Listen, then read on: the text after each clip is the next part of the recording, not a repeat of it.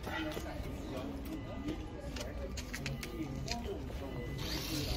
pada datang ke kubur Yesus di dalam lubang itu yang kecil.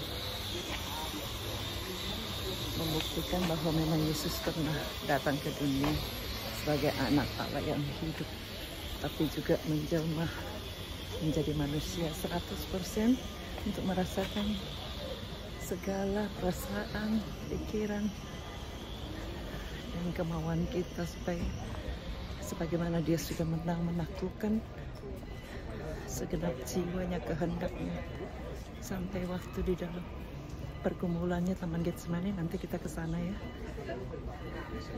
Dia menang kita juga bisa menang